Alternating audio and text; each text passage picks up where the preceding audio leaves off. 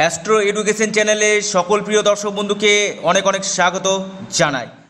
নমস্কার, আমি কৌশিক রায়। আগামী একুশে জুন দু হাজার কুড়ি, রবিবার, সূর্যগ্রহণ। এই সূর্যগ্রহণের প্রভাব কি পড়তে চলেছে? চারটি রাশির উপর, ধনু, মকর, কুম্ভ এবং মীন রাশির উপর। তাই নিয়ে এই ভিডিওতে আমি বিস্তারিত আলোচনা করব। এছাড়াও আমি এর আগে এই সূর্যগ্রহণের দেশ ও দুনিয়াতে কি প্রভাব পড়তে চলেছে তা নিয়েও আমি অলরেডি আমার এই অ্যাস্ট্রো এডুকেশন চ্যানেলে ভিডিও দিয়েছি। আপনারা প্রত্যেকেই দেখে নেবেন। তো যেটা হচ্ছে লোক ভবিষ্যৎ, সেটা আমি কিন্তু আমি জানিয়েছি। তো এবার আসি, এই সূর্যগ্রহণ হচ্ছে মিথুন রাশির ঘরে। এবং সেই সেই সময় চন্দ্র, রবি, রাহু এবং বুধ ঠিক মিথুন রাশিতে একত্রে অবস্থান করবে এবং মৃগশিরা নক্ষত্রে চতুর্থ চরণে এই গ্রহণ সংগঠিত হতে চলেছে এবং গ্রহণের সময় হচ্ছে নটা পনেরো থেকে সকাল নটা পনেরো থেকে তিনটা চার মিনিট পর্যন্ত এই গ্রহণ চলবে।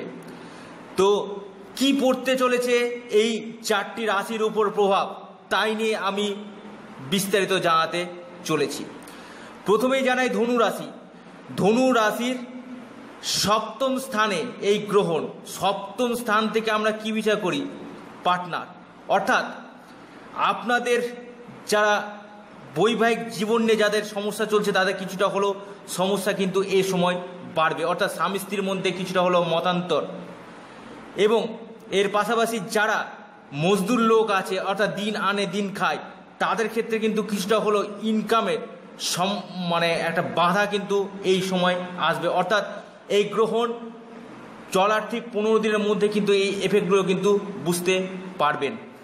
এবং আপনাদের নবমপতি ঠিক সপ্তমভাবে অবস্থান করছে রাহুর সঙ্গে। অর্থাৎ রাহু রবিকে গ্রাস করে ফেলেছে ফেলেছে। অর্থাৎ ভাগ্যের সাপোর্ট কিন্তু আপনারা পাবেন না। অর্থাৎ ভাগ্যের দ্বারা যে কাজগুলো হয় কি না ধনুরাশির সেই দিক থেকে কিন্তু কিছুটা হলেও প্রবলেম ক্রিয়েট করবে।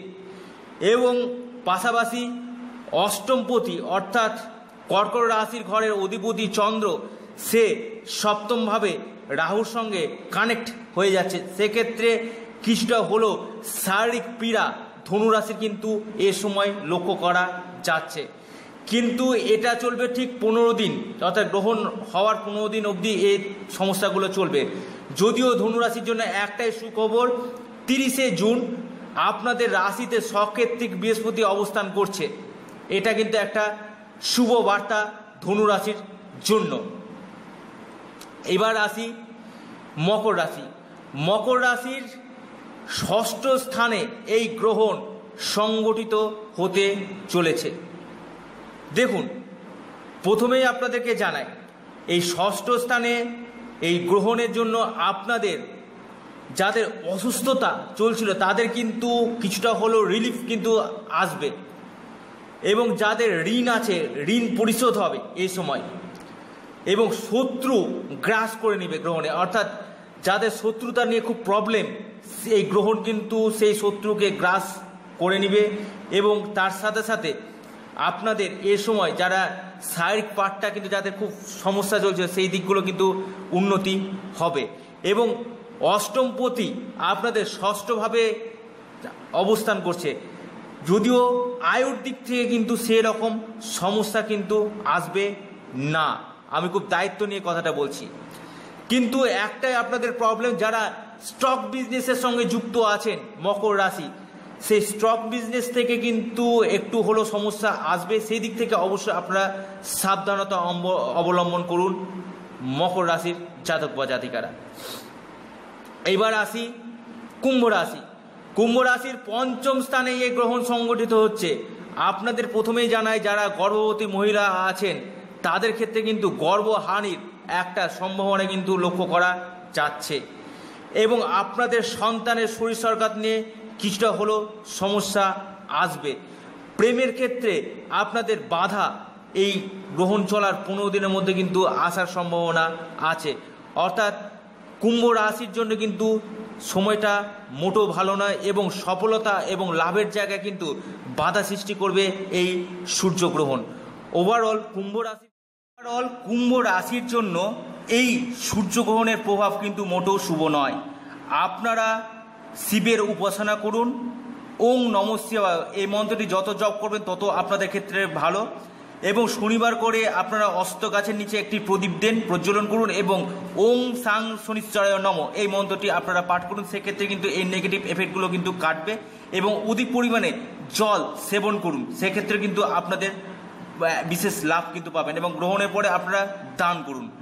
তেমনি মকর রাশির ক্ষেত্রে আপনারা হনুমানজির উপাসনা করুন।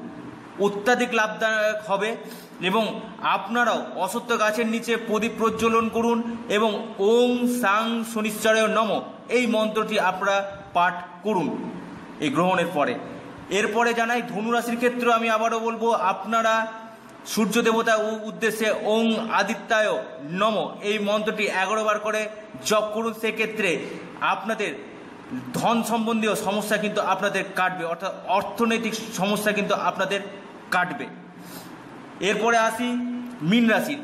মীন রাশির এই সূর্যগ্রহণ চতুর্থভাবে হচ্ছে আপনাদের গৃহ দিক থেকে কিন্তু সমস্যা আসবে। অর্থাৎ আপনার গৃহের সুখ শান্তি কিছুটা হলেও হানি হবে। অর্থাৎ এই পনেরোটা দিনের মধ্যে খুব সাবধান থাকবেন।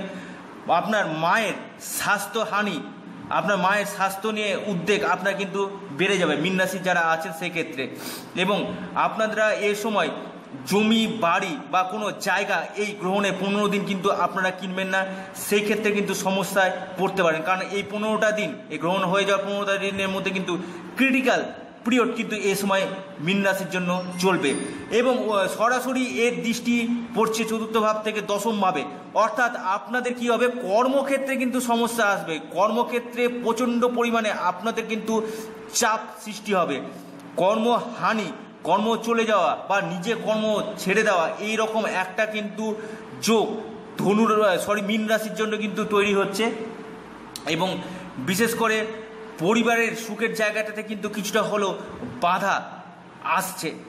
এ সময় আপনারা কোনো কাজ করার আগে অবশ্যই সিদ্ধান্ত নেওয়ার আগে অবশ্যই আপনারা সাবধানে সিদ্ধান্ত নেবেন এবং আপনাদের গুরুজনদের শরীর স্বাস্থ্যের দিকে অবশ্যই এই সময় নজর দিবেন।